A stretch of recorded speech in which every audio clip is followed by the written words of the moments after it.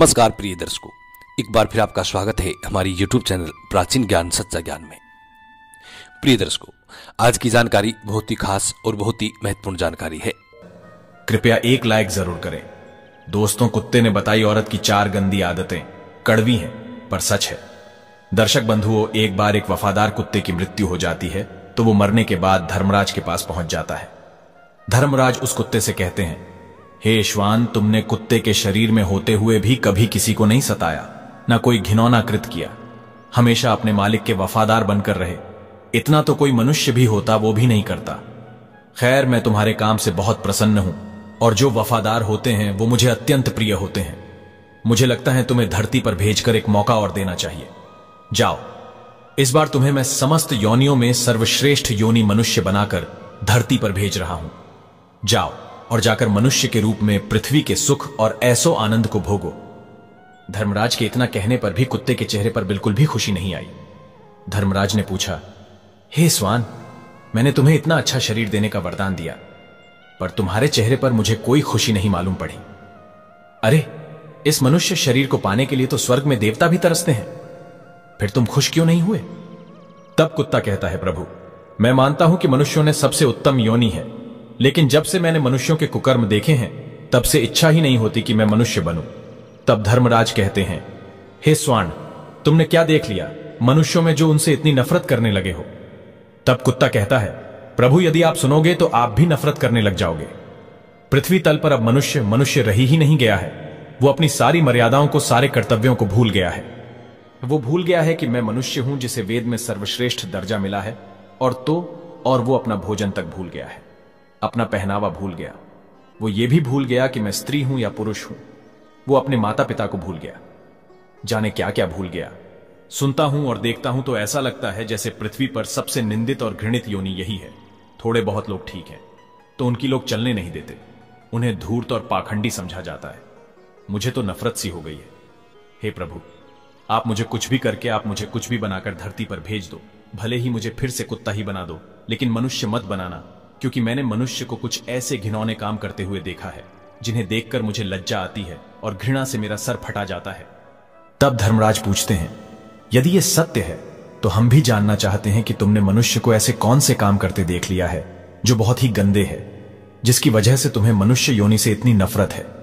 तब कुत्ता कहता है, हे प्रभु, यदि आप जानना चाहते हैं तो सुनिए। मैं अपनी आँखों देखी घटनाएँ तुम्हें सुनाता हूँ। पहली घटना यह है कि मनुष्य की नीयत खराब बहुत जल्दी हो जाती है। वो कभी अपने धर्म पर स्थिर नहीं रह पाता। कभी कोई अच्छी वस्तु दिखाई दी, कभी कोई सुंदर स्त्री दिख गई, कभी कहीं कुछ धन माया दिख गई तो फ़ौरन उसकी नीयत खराब हो जाती है। इस संबंध में मैं तुम्हें एक कहानी सुनाता हूँ। किसी नगर में एक सेठ के घर एक बहुत सुंदर कन्या उत्पन्न हुई। कन्या बड़ी ही रूपवती थी। धीरे धीरे जब वो बड़ी होने लगी तो उसका रूप और यौवन में और भी निखार आने लगा। धीरे धीरे कन्या युवा अवस्था को प्राप्त हुई। तब एक दिन सेठ के मन में विचार आता है कि मैं अपनी बेटी का विवाह करूँ और विवाह किसी राजा महाराजा से करना चाहिए। मित्रों, ऐसा विचार करके सेठ नगर से बाहर एक बाबा रहते थे। सेठ उस बाबा के पास जाता है और वो अपने मन की इच्छा उन बाबा से कहता है कि, बाबा, हम अपनी रूपवती कन्या का विवाह किसी राजकुमार के साथ करना चाहते हैं। जरा अपने तपोबल से देखकर बताओ कि हमारी बेटी का विवाह किसके साथ होगा? तब वो बाबा कहता है देखिए सेठ जी, हम आपकी बेटी का भाग्य उसे देखकर ही बता पाएँगे। या तो आप अपनी कन्या को यहाँ बुला लाइए, या फिर हम आपके घर चलते हैं। सेठ कहता है, हाँ बाबा, आप हमारे घर पधारिए। आपके चरण हमारे घर में पड़ जाएँगे तो घर भी पवित्र हो जाएगा, और हमारी बेटी का भाग्य देखकर ज़रूर बताएँ। दोस्तों, अगले दिन सुबह सुबह वो बाबा उस सेठ के घर जाते हैं। गए थे कन्या को देखकर उसका भाग्य बताने पर कन्या इतनी सुंदर थी कि मौनी बाबा ही उस पर आशक्त हो गया। मौनी बाबा का मन सेठ की कन्या पर चालायमान हो गया। सोचने लगा, ऐसी कन्या यदि मुझे मिल जाए तो मेरे भाग्य खुल जाए। अब कोई ऐसा जतन करूँ जिससे यह लड़की मुझे मिल जाए। यही सोच करके वो मौनी बाबा एकदम से रोने लगता है। मौनी बाबा को रोता हुआ देखकर सेठ में पूछा, बाबा, आप तो कभी बोलते भी नहीं थे। आपके रोने का क्या कारण है? तब वो बाबा सेठ को एकांत में ले जाकर समझाता है कि तुम्हारी कन्या की मस्तक रेखाओं को देखकर हमें रोना आ रहा है, क्योंकि इन रेखाओं का यह फल है कि यह कन्या तुम्हारे कुल का नाश कर देगी, और जिस घर में जाएगी, उस घर को भी ले डूबेगी। मौनी बाबा की बात सुनकर सेठ घबरा जाता है। पूछने लगा, बाबा, क्या इसका कोई उपाय नहीं है जिससे कि हमारा कुल नष्ट होने से बच जाए? तब मौनी बाबा कहता है, इसका एक ही उपाय है। तुम अपनी कन्या को एक संदूक में बंद करके उस पर एक दिया जलाकर रख दो। और संध्या के समय उसे नदी में बहा दो। तब तो तुम बच जाओगे, वरना थोड़े ही दिनों में तुम्हारा घर चंपत हो जाएगा। मित्रों, ऐसी बात बताकर मौनी बाबा तो अपने ठिकाने की ओर चला जाता है। उधर उस सेठ ने मौनी बाबा ने जैसा बताया था, वैसा ही किया अपनी कन्या को एक बड़े से संदूक में बंद कर दिया और उसके ऊपर एक दिया जलाकर रख दिया। जैसे ही शाम का समय होता है, वो उसे नदी में प्रवाहित कर देता है। वो संदूक बहता हुआ नदी में चला जा रहा था। मित्रों, आपको बता दें कि मौनी बाबा ने ऐसा क्यों करवाया? उसने सोचा कि जैसे ही सेठ अपनी कन्या को संदूक में बंद करके नदी में बहाएगा, वैसे ही कुछ दूर आगे जाकर मैं उस संदूक को निकाल लूँगा और उस लड़की को मैं अपनी स्त्री बना लूँगा। यही सोचकर मौनी बाबा ने अपने चार चेले नदी के किनारे बैठा दिए और कहा कि आज की रात इस नदी में बहता हुआ एक संदूक आएगा। तुम चुपचाप उस संदूक को निकालकर मेरे पास ले आना, चेलाओं ने कहा। ठीक है, गुरुजी।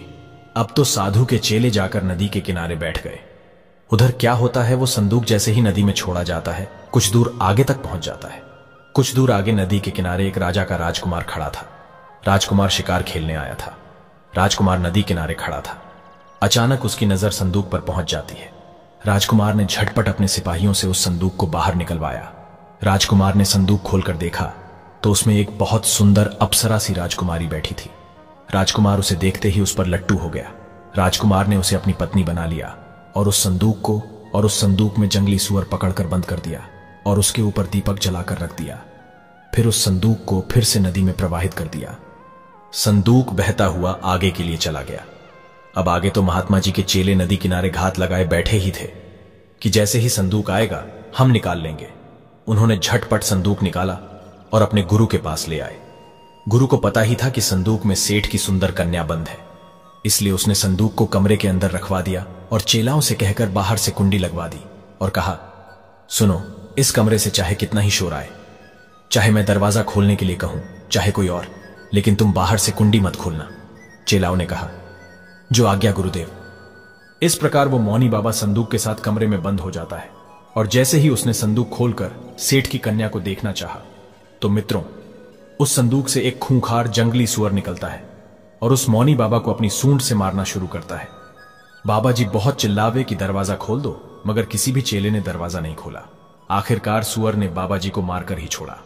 जब शोरगुल बिल्कुल शांत हो गया तो चेलाओं ने दरवाज़ा खोलकर देखा तो अंदर गुरु मृत अवस्था में पड़े थे और कमरे के अंदर से सुअर निकलकर भाग गया। उनका पूरा शरीर लहूलुहान था। मौनी बाबा को अपने कुकर्म की सजा मिल चुकी थी। सेठ ने कितना भरोसा करके उस बाबा से पूछा था, लेकिन उसने सेठ के साथ कितना बुरा किया। इसीलिए मेरी इच्छाएँ मानव शरीर पाने की बिल्कुल नहीं है। धर्मराज कहते हैं, हे स्वान, वास्तव में यह तुम्हारी कहानी बिल्कुल सच थी। किसी पर भी भरोसा नहीं किया जा सकता। पता नहीं कब किसकी नीयत खराब हो जाएगी। इसीलिए तो कहते हैं कि मनुष्य को छोड़कर बाकी समस्त प्राणी प्राकृतिक नियमों का पालन कर रहे हैं। केवल मनुष्य ही बदलता जा रहा है और इतना बदल गया है कि बदलते बदलते पशु बन गया है। कोई किसी पर विश्वास करने के लायक ही नहीं रहा है। आज का जमाना यह आ गया है कि किसी विश्वासी का भी विश्वास नहीं किया जा सकता। कुत्ता कहता है, हे प्रभु, अब मैं तुम्हें दूसरी घटना सुनाता हूँ। ध्यान देकर सुनो। एक बार एक पंडित जी काशी में विद्या अध्ययन करने के लिए गए थे।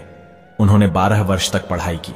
जब उन्होंने सब कुछ पढ़ लिया तो पढ़ने के बाद वे वापस अपने घर लौट आए और अपने पिताजी से कहा, पिताजी, मैं सब कुछ पढ़कर आ गया हूँ। अब मुझे सब कुछ याद है। आप मुझसे कोई सा भी प्रश्न पूछ सकते हो। मैं उसका भली भांत ठीक ठीक उत्तर दूँगा। पंडित जी के पिताजी कहने लगे, ठीक है बेटा, जब तुम सब कुछ पढ़कर आए हो तो तुम मेरे एक छोटे से प्रश्न का उत्तर दे दो। पंडित जी कहने लगे, ठीक है। पिताजी पूछिए पिता ने पूछा कि मुझे सिर्फ़ इतना बता दो कि पाप के बाप का क्या नाम होता है? फिर पंडित जी ने सोचा कि पाप का बाप, ये तो मैंने कभी पढ़ा ही नहीं है, जो किताबें मैंने पढ़ी, उसमें यह विषय तो था ही नहीं। फिर तो पंडित जी रात भर किताबें पलटते रहे।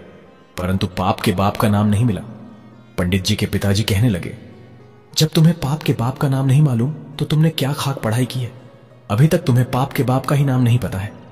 अपने पिता की बात को सुनकर पंडित जी कहने लगे, पिताजी, तुम चिंता ना करो। आखिर मैं एक ब्राह्मण का बेटा हूँ। मैं पाप के बाप का नाम ढूंढकर ही वापस लौटूँगा। चाहे बारह वर्ष मुझे फिर से क्यों ना बीत जाए। मित्रों, पिताजी से इतना कहकर पंडित जी पुनः काशी के लिए रवाना हो जाते हैं। फिर कुत्ता कहता है, हे प्रभु जब पंडित जी घर से काशी के लिए चल दिए तो रास्ते में उन्हें बहुत तेज प्यास लगती है। एक नगर में उन्हें एक घर दिखाई देता है तो पंडित जी उस घर में जाते हैं और वहाँ जाकर कहते हैं, मुझे बहुत ज़ोर की प्यास लगी है। अगर घर के अंदर कोई हो तो मुझे पानी पिला दो। हम मित्रों, घर के अंदर से एक स्त्री निकलती है और पंडित जी को पानी पिलाती है। पंडित जी पानी पीते हैं और पानी पीने के बाद पंडित जी उस औरत से पूछते हैं, ये किसका घर है? वो स्त्री कहती है, पंडित जी आपको ये बात पानी पीने से पहले ही पूछनी थी कि यह किसका घर है। अब आपने पानी तो पी लिया। अब आप पूछ रहे हैं यह किसका घर है? तो सुन लो, ये घर एक वैश्या का है। मैं एक वैश्या हूँ। पंडित जी ने जैसे ही वेश्या का नाम सुना तो उन्होंने एकदम से अपने कान पकड़ लिए और कहने लगे, राम राम, ये क्या हो गया? मुझसे तो भारी अपराध हो गया। मैंने एक वेश्या के घर का पानी पी लिया। पंडित जी मन ही मन सोचते हैं, पाप का बाप तो मिला नहीं, एक पाप और हो गया।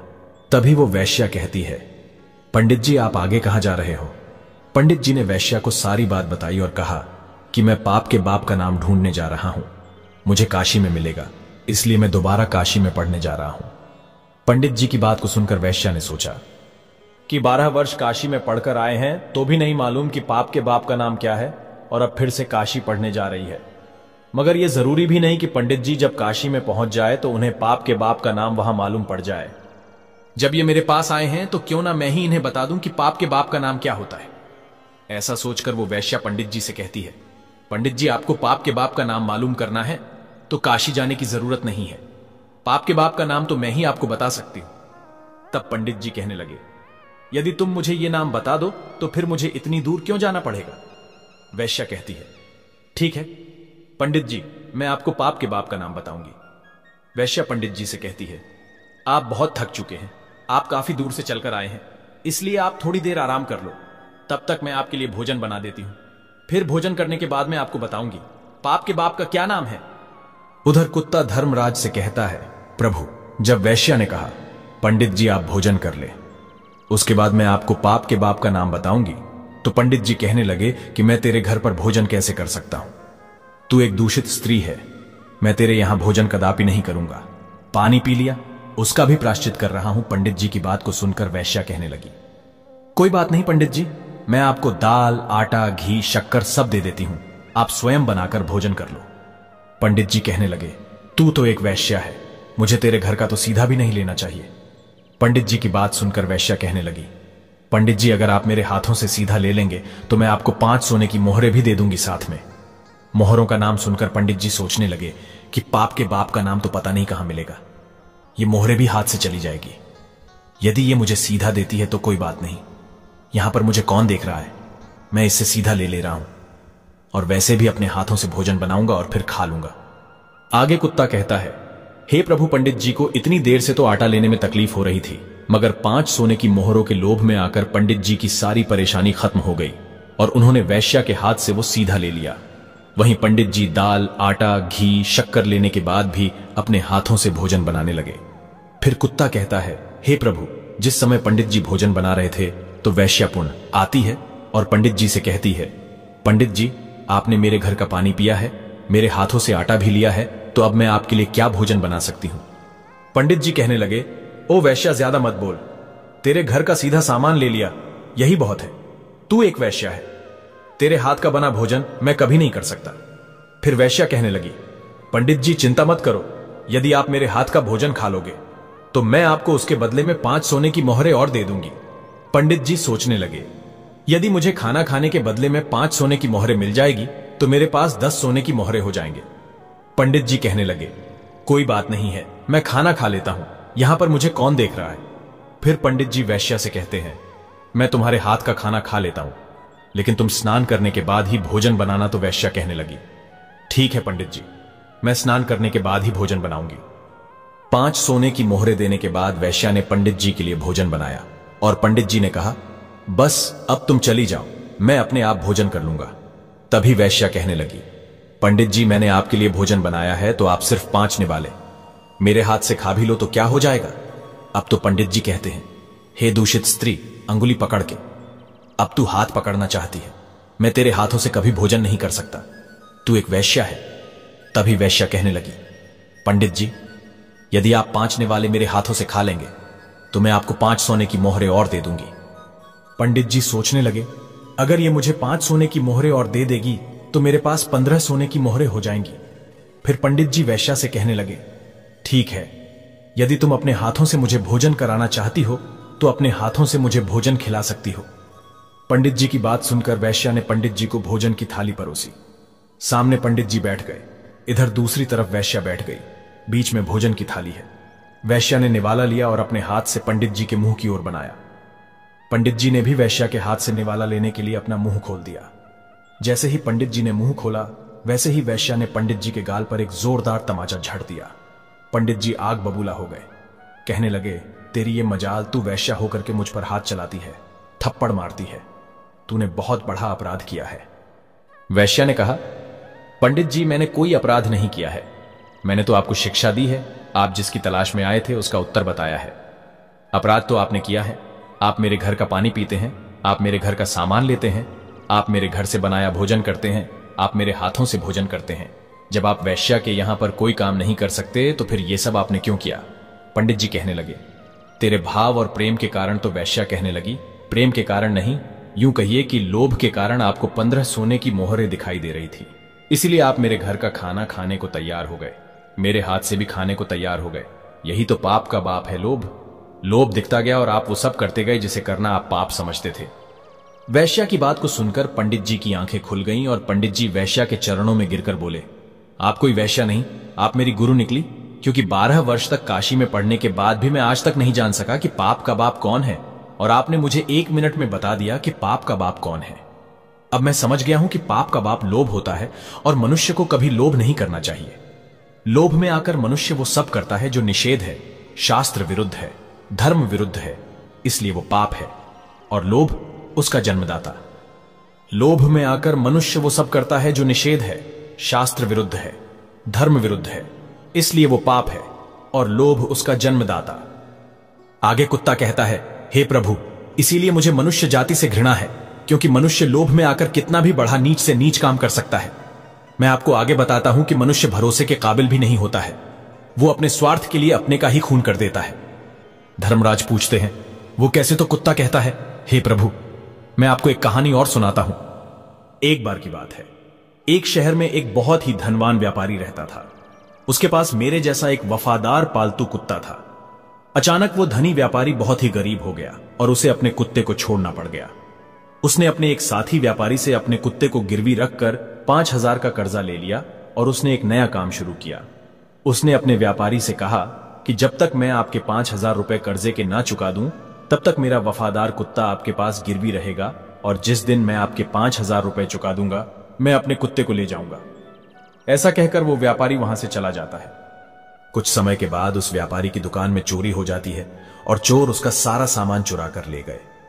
मुश्किल से थोड़ा सा सामान ही दुकान में बचा था। वफादार कुत्ते को पता चला कि चोर चोरी कर रहे हैं तो वो कुत्ता चोरों का पीछा करता हुआ उनके पीछे चला गया और उसने वो जगह देख ली जहाँ चोरों ने धन छुपाया था। वो जगह देखने के बाद में वो वफादार कुत्ता दुकान पर वापस आ जाता है। सुबह जब व्यापारी सोकर उठा और अपनी दुकान खाली देखी तो वो एकदम से रो पड़ा। साथ में उसके घर वाले भी रोने लगे। मोहल्ला पड़ोस के लोग भी इकट्ठे हो गए। व्यापारी तो बिल्कुल पागल सा हो गया था क्योंकि उसकी दुकान का सारा सामान चोरी हो चुका था। लेकिन उधर वो कुत्ता बार बार मालिक की कमीज और पैजामा खींचता हुआ घर के दरवाजे की तरफ़ भाग रहा था, जैसे कि वो उसको घर से बाहर ले जाना चाहता हो। आखिर उसके एक दोस्त ने उसको सलाह दी कि लगता है ये कुत्ता चुराई हुई चीज़ के बारे में कुछ जानता है, इसीलिए आपको बार बार पकड़कर खींच रहा है। हमें कुत्ते के पीछे चलना चाहिए। ऐसा सोचकर व्यापारी उस कुत्ते के पीछे पीछे चला जाता है। कुत्ता उस व्यापारी को उसी स्थान पर ले जाता है जहाँ पर चोरों ने उसका धन छुपाया था। उस जगह जाने पर कुत्ते ने ज़मीन खोदनी शुरू की और भौंकना शुरू किया। यह बताने की कोशिश की कि सामान यहाँ नीचे छुपा हुआ है। व्यापारी और उसके मित्रों ने गाँव वालों ने मिलकर ज़मीन खोदी तो देखा कि उसका सारा सामान ज़मीन से निकल आया। उसमें कोई चीज़ खोई हुई नहीं थी। सब सामान वैसा की वैसा ही मिल गया। व्यापारी अपना सब सामान पाकर बहुत खुश होता है और घर आकर उसने कुत्ते के कान में कुछ लिख करके एक कागज़ लपेट दिया। और उसको उसके पुराने मालिक के पास भेज दिया। उसने उस कागज़ में लिखा था कि उसका कुत्ता बहुत वफादार है और कुत्ते की वफादारी की वजह से जो पाँच हज़ार का कर्जा तुमने लिया था, मैं उसको माफ़ करता हूँ, क्योंकि तुम्हारे कुत्ते की वफादारी की वजह से मेरी दुकान का सामान चोरी हुआ वापस मिल गया है। इसलिए मैं आज तुम्हारे कुत्ते को अपने यहाँ से आज़ाद करता हूँ और इनाम के तौर पर पाँच हज़ार रुपए और भेजता हूँ। कुत्ता भी बहुत खुश हुआ कि आज मैं अपने मालिक से मिलूँगा। जब मालिक मेरी वफादारी की चर्चा सुनेंगे तो एकदम से खुशी से नाच उठेंगे। व्यापारी ने जब अपने कुत्ते को वापस आते हुए देखा तो उसने सोचा, लगता है मेरा दोस्त अपना पैसा वापस मांग रहा है, इसलिए उसने मेरे कुत्ते को मेरे पास भेजा है। मेरे पास अभी भी पैसे नहीं है। मैं इसे कहाँ से दूँगा? अभी तो मैं अपने नुकसान की भरपाई भी नहीं कर पाया हूँ। इसलिए मैं ऐसा करता हूँ कि मेरे घर का पता केवल इस कुत्ते को ही पता है। यदि मैं इस कुत्ते को ही मार दूँगा तो फिर व्यापारी मेरे घर तक कभी नहीं पहुँच पाएगा। ऐसा सोचकर वो व्यापारी अपने वफादार कुत्ते की तरफ़ तलवार लेकर दौड़ता है और कुत्ते के सिर को काट देता है। वो कुत्ता वहीं मर जाता है।